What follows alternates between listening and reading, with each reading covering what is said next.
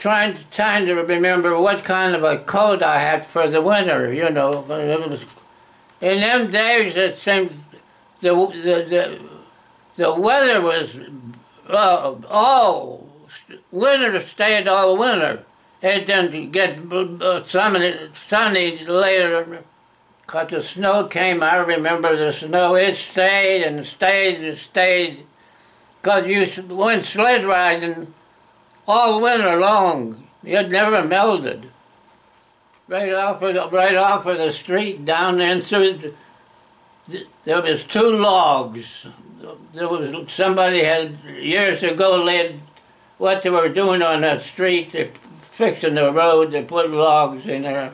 There was two logs in there. You, you come up off of this hill, off of the street, and you stood down you went down into where the ball field was.